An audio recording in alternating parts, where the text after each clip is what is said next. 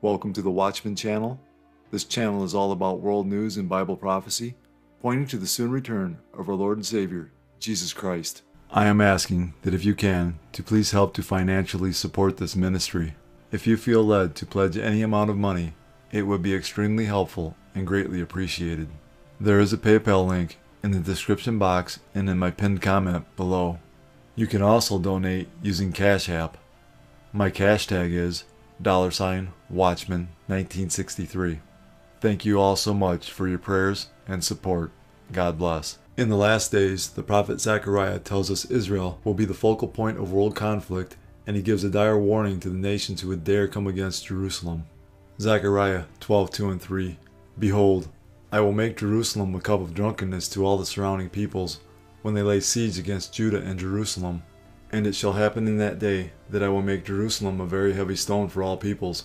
All who would heave it away will surely be cut in pieces, though all nations of the earth are gathered against it. This prophecy is unfolding right before our very eyes. Israel putting its forces on high alert after days of taking rocket fire from Lebanon, the Gaza Strip, and for the first time, Syria.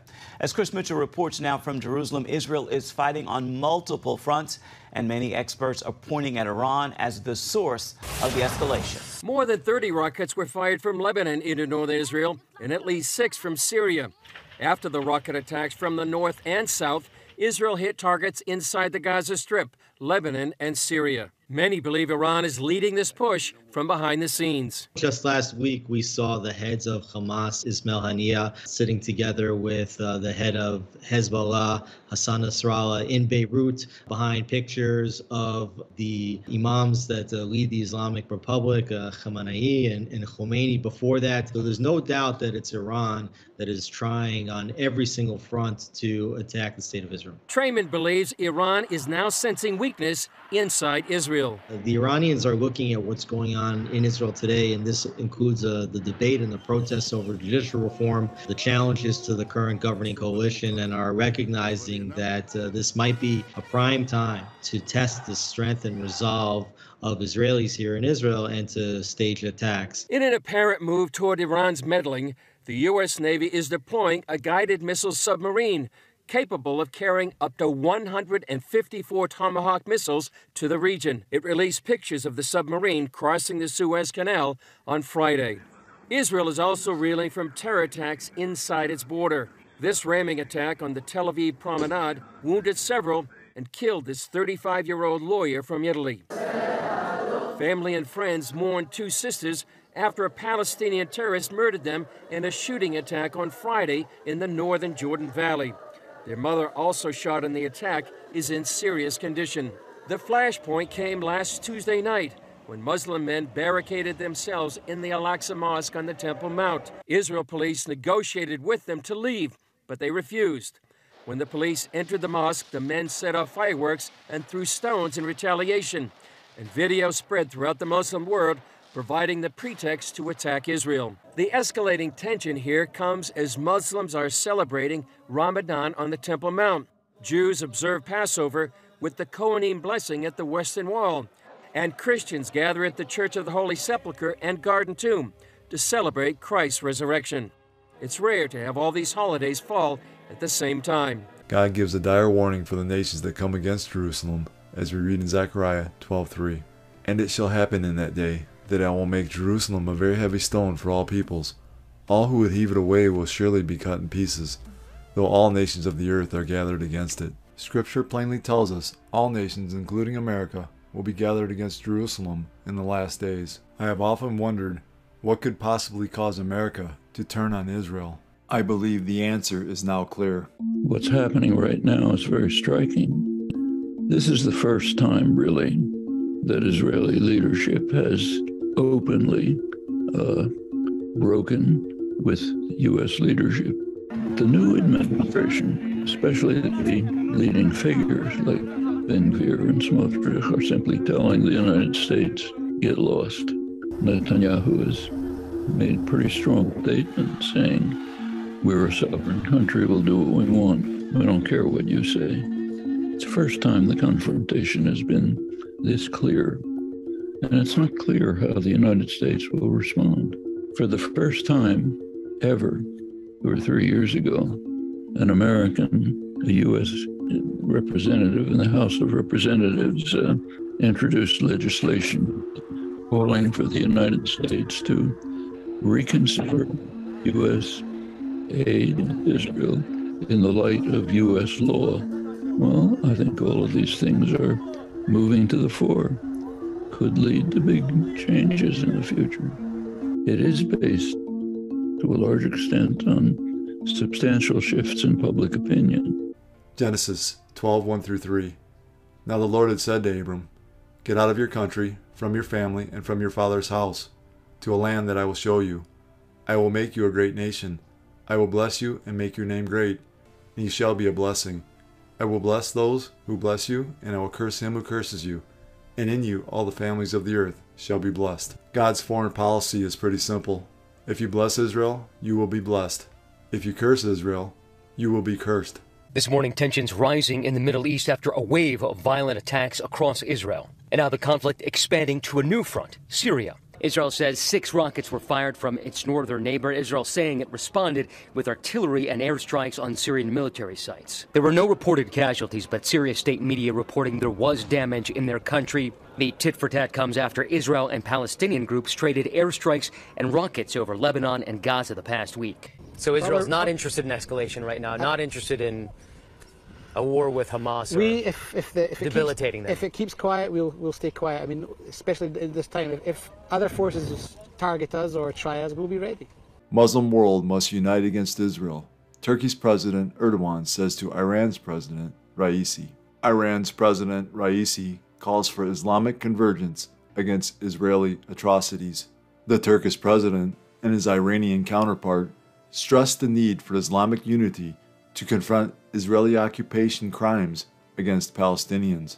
As we continue to watch Bible prophecy unfold, it seems as though the war of Gog and Magog is looming on the horizon. Ezekiel 38 1 through 9. The word of the Lord came to me Son of man, set your face toward Gog of the land of Magog, the chief prince of Meshech and Tubal, and prophesy against him, and say, Thus says the Lord God, Behold, I am against you, O Gog, chief prince of Meshech and Tubal. And I will turn you about, and put hooks into your jaws, and I will bring you out, and all your army, horses and horsemen, all of them clothed in full armor, a great host, all of them with buckler and shield, wielding swords. Persia, Cush, and Put are with them, all of them with shield and helmet. Gomer and all his hordes, Beth Garma from the uttermost parts of the north with all his hordes, many peoples are with you. Be ready and keep ready, you and all your hosts that are assembled about you, and be a guard for them. After many days you will be mustered. In the latter years you will go against the land that is restored from war, the land whose people were gathered from many peoples upon the mountains of Israel, which had been a continual waste. Its people were brought out from the peoples and now dwell securely, all of them. You will advance, coming on like a storm. You will be like a cloud covering the land, you and all your hordes, and many peoples with you.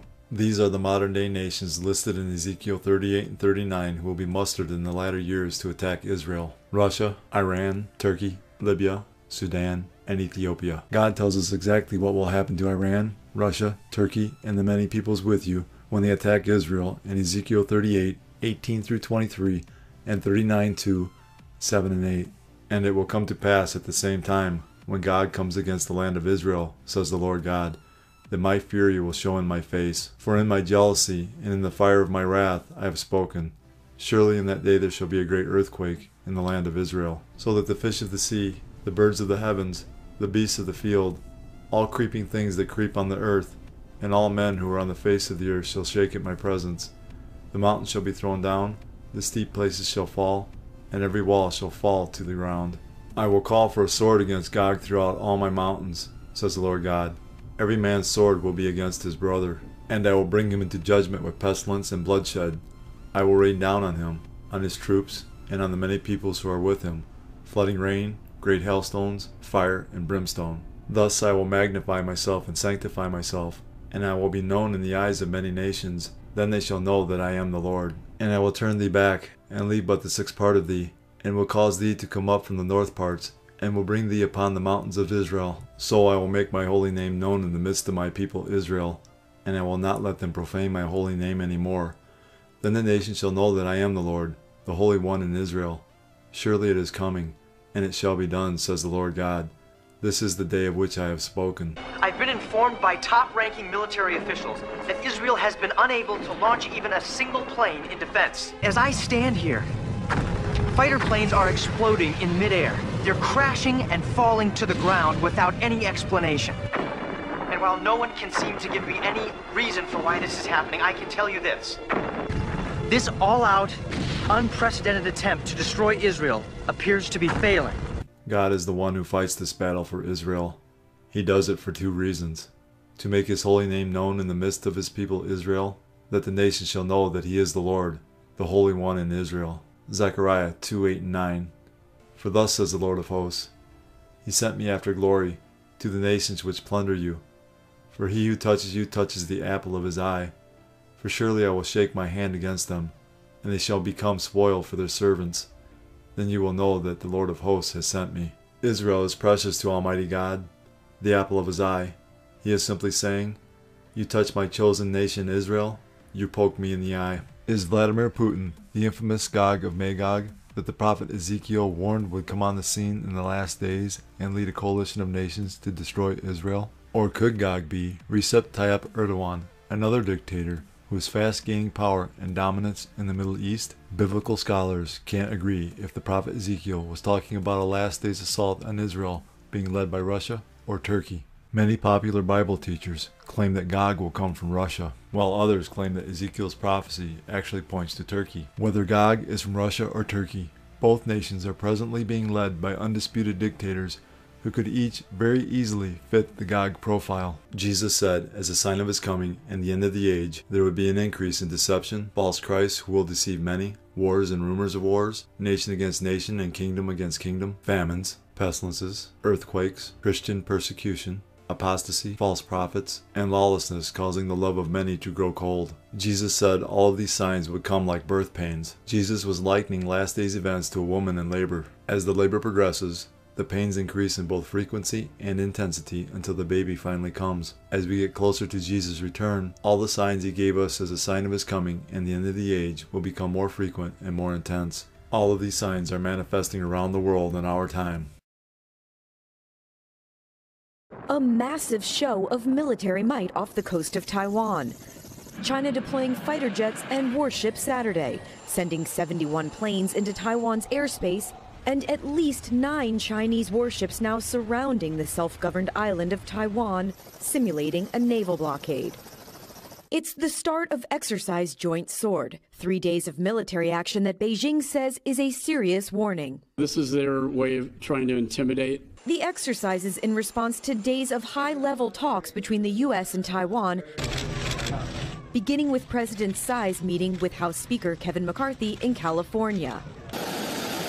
Hours later, a congressional delegation arriving here in Taipei for three days of engagements. It is important that all democracies stand together against tyranny and oppression.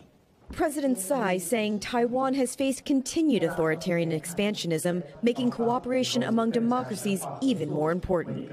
Chairman of the House Foreign Affairs Committee, Congressman Mike McCaul, vowing to deliver weapons and training to Taiwan's military. We will provide training to your military, not for war, but for peace. China's response so far more muted than their actions after then Speaker Nancy Pelosi visited last summer, when their drills included firing ballistic missiles.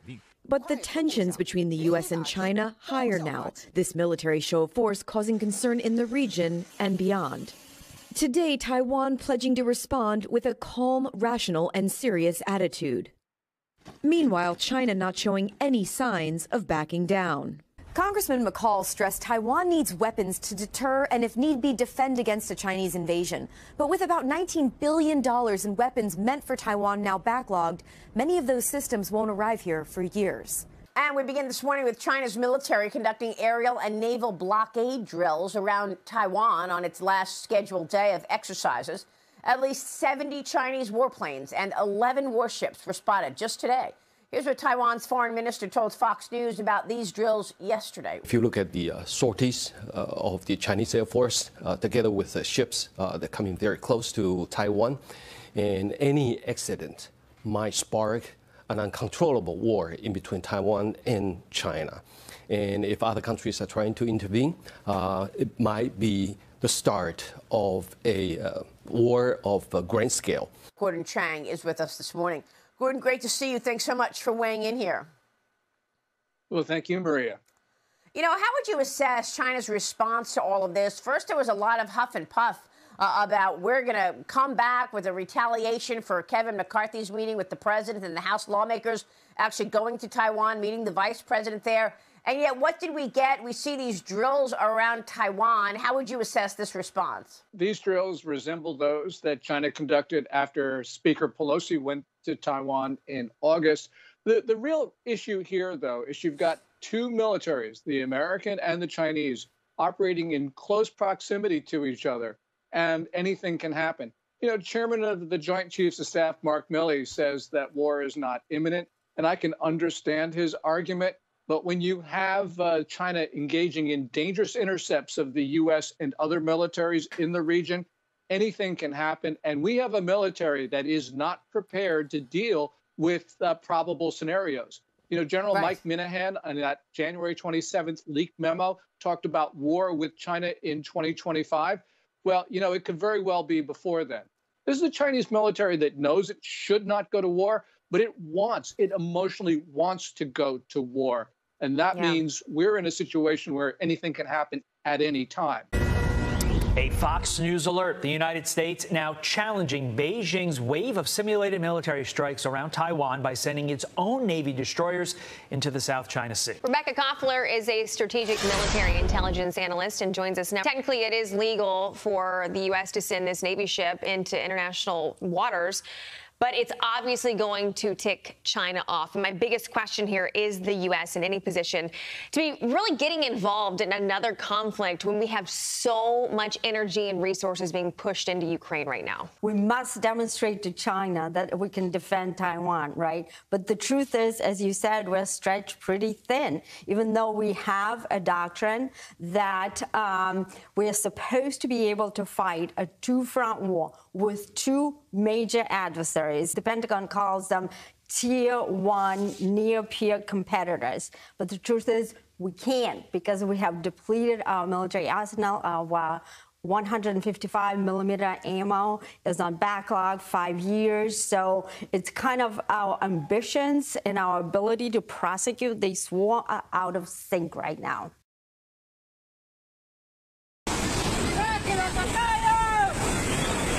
Signs of devastation are everywhere in Peru as flooding continues due to storms in the country.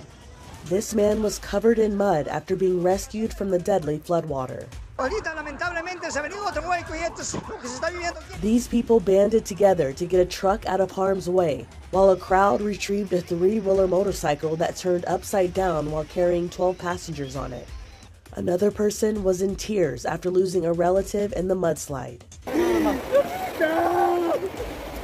Since the storms began, houses, schools, and crops have been destroyed.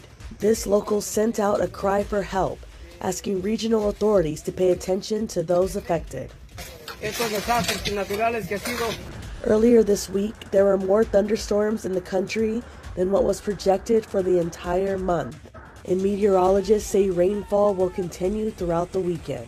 As we look at the news, there is no doubt we are in the birth pains Jesus spoke of in Matthew 24 8. We see many of God's remedial judgments manifesting, as if God is warning us of things to come and calling on people to repent. We see war and rumors of wars, famine, and pestilence resulting in the deaths of thousands around the world. We are seeing earthquakes, extreme heat, floods, wildfires, tornadoes, hailstorms, and hurricanes, all at record levels of frequency and intensity, just like Jesus said would happen just prior to his return. The judgments God will use to punish mankind with during the seven year tribulation will be much worse than any of us can imagine. Still, this is God's grace and mercy, proving to everyone that these judgments come from Him, and He is still offering forgiveness of sins through His only begotten Son, Jesus Christ. If you have not accepted Jesus as your Lord and Savior, I implore you to do so today as we are not guaranteed tomorrow. In these first three months or so of 2023, nearly 500 tornadoes have been reported across 25 states, doubling the average for this time of year. Clustered in the Midwest and the South, the storms gather quickly, leaving residents little time to find shelter and turning homes and businesses into piles of lumber. So, why is this tornado season especially bad? And what more can be done to protect against the destruction? They look like scenes straight out of the movie Twister.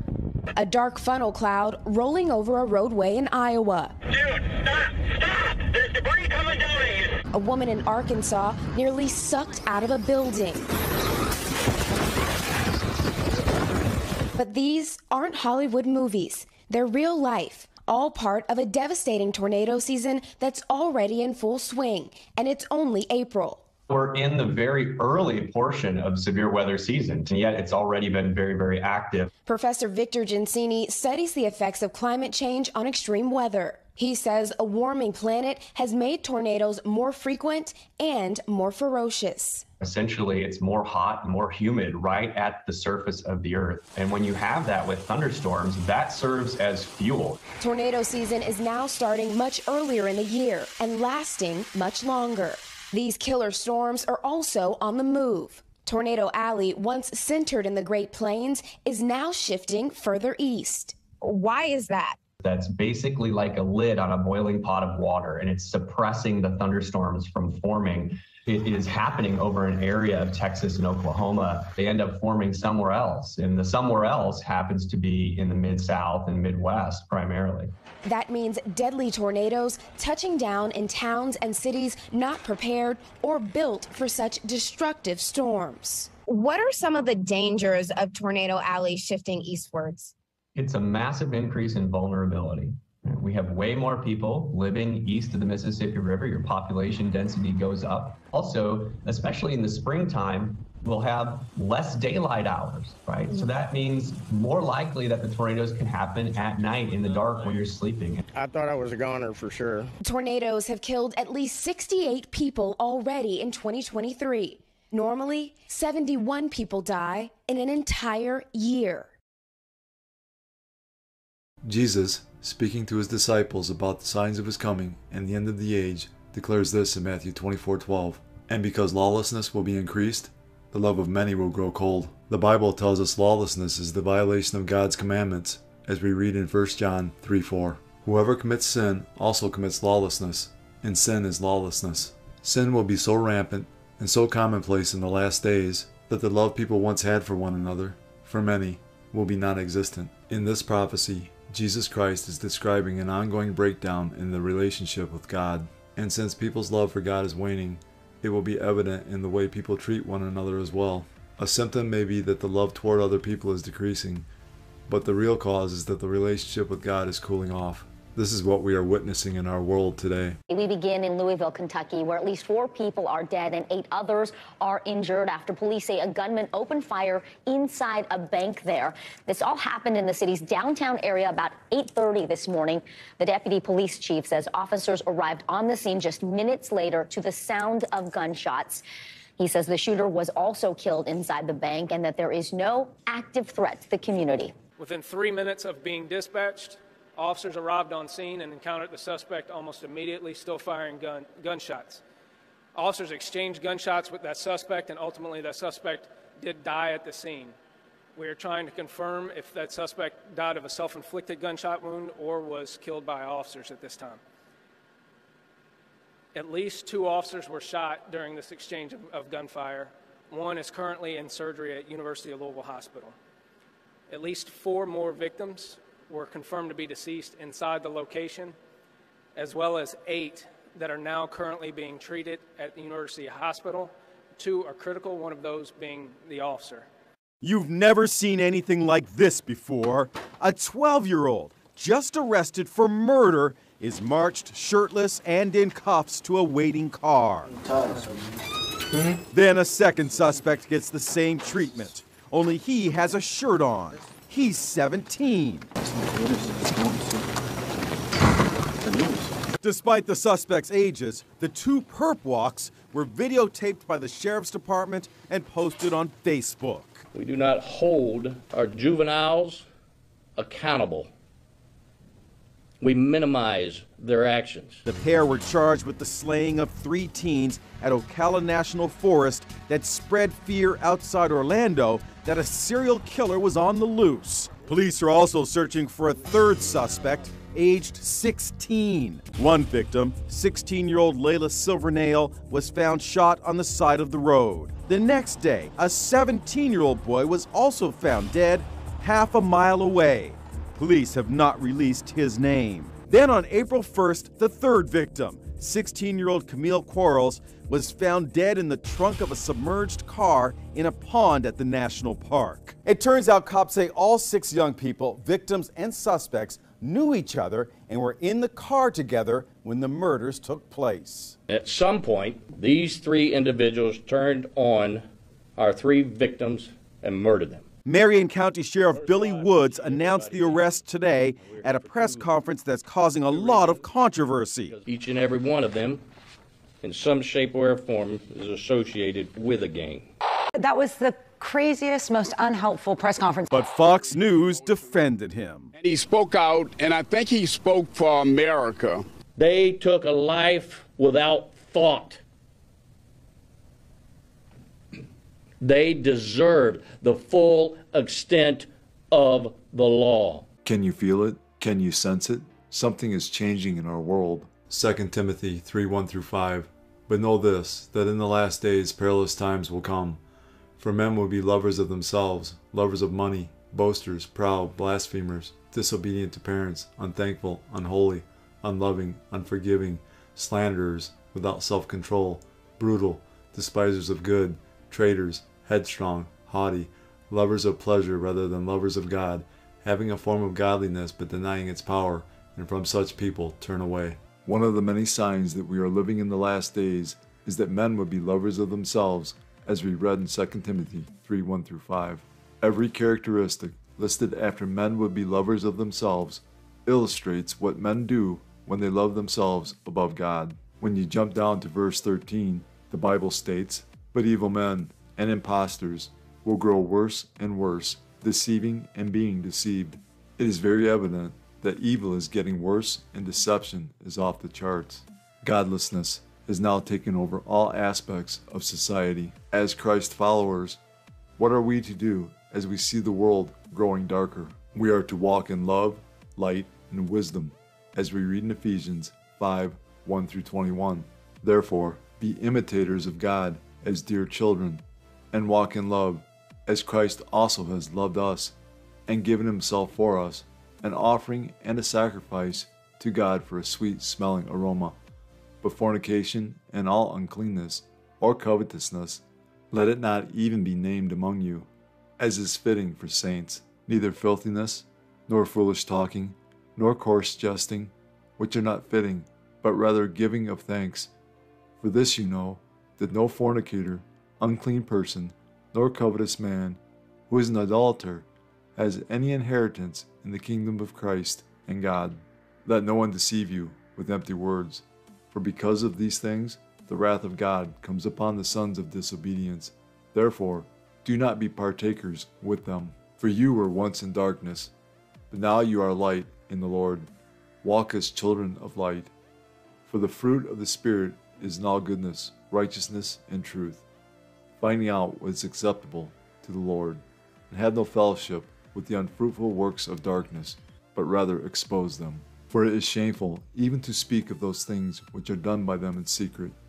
But all things that are exposed are made manifest by the light. For whatever makes manifest is light.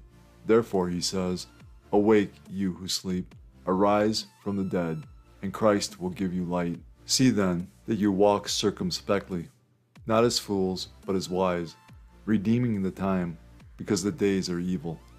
Therefore, do not be unwise, but understand what the will of the Lord is. And do not be drunk with wine, in which is dissipation, but be filled with the Spirit, speaking to one another in psalms and hymns and spiritual songs, singing and making melody in your heart to the Lord, giving thanks always for all things to God the Father, in the name of our Lord Jesus Christ, submitting to one another in the fear of God. The signs of Jesus' soon return are so strong now, and the evidence is so clear, that any person willing to accept the truth can see that the end of the world as we know it is near. For God so loved the world that he gave his only begotten Son, that whoever believes in him should not perish, but have everlasting life. For all have sinned and fall short of the glory of God. But God demonstrates his own love toward us, in that while we were still sinners, Christ died for us. For the wages of sin is death, but the gift of God is eternal life in Christ Jesus our Lord. That if you confess with your mouth the Lord Jesus and believe in your heart that God has raised him from the dead, you will be saved. These are the ABCs of salvation. A. Admit that you're a sinner. B. Believe in your heart that Jesus Christ died for your sins, was buried, and God raised him from the dead. C. Call upon the name of the Lord, and you will be saved. Jesus paid the price for mankind's sin. He has provided a way to spend eternity with Him and the Father. All you have to do is believe in the Lord Jesus, and you will be saved. God has already done all the work. All you must do is receive, in faith, the salvation God offers. Fully trust in Jesus alone as the payment for your sins. Believe in Him, and you will not perish. God is offering you salvation as a gift. All you have to do is accept it. Jesus is the only way of salvation. That being said, we must repent of our sins. While repentance is not a work that earns salvation, repentance unto salvation does result in works. It is impossible to truly and fully change your mind without that causing a change in action.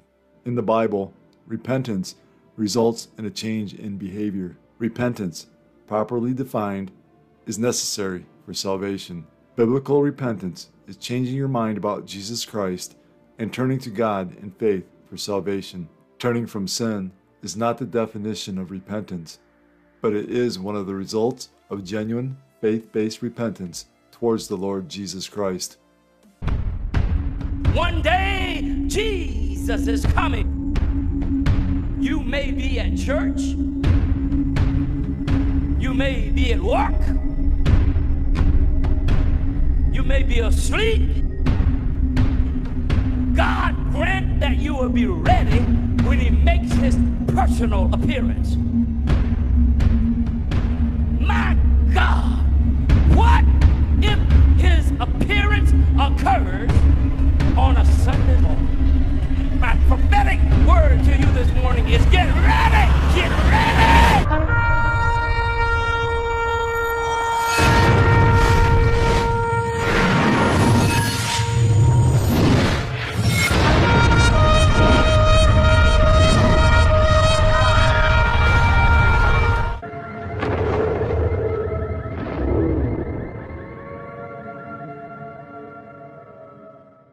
Is short. Call upon the name of Jesus today.